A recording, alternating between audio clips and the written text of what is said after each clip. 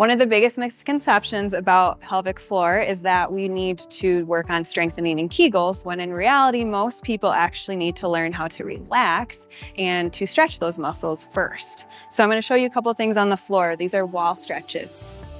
All right, so you wanna make sure that you get as close as you can to the wall. I honestly touch my hip to the wall and then slide feet up so that your butt is basically touching the wall. The first position is gonna be a sumo squat where you've got your feet really wide.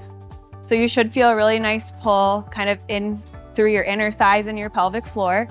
And then here, what we wanna do is to breathe really deep through your lower abdomen and into that pelvic floor. So think 360 degrees of movement. Number two, it's gonna be a butterfly. So Again, getting a little bit even more stretch on those inner thigh muscles. You can push down on your knees, both to get a little bit more if you need that. But then here again, we're gonna breathe really deeply through um, that diaphragm and that pelvic floor. So think, breathe into that belly button.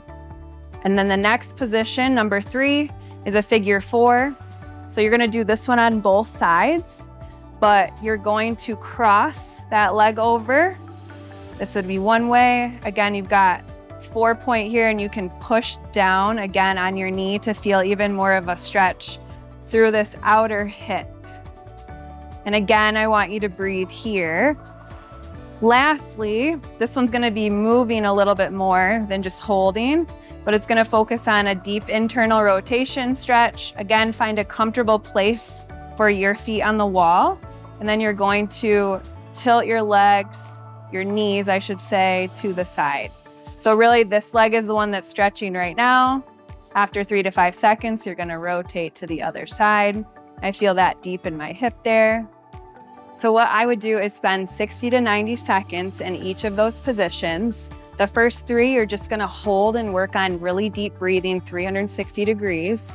The fourth one, which your knees were going side to side, Try to hold for about five seconds each side and just alternate back and forth. I'm Dr. Hayley VanBeek. Uh, you can come and see me at Fuel Health and Wellness in Grand Rapids if you're having any pelvic floor issues or concerns.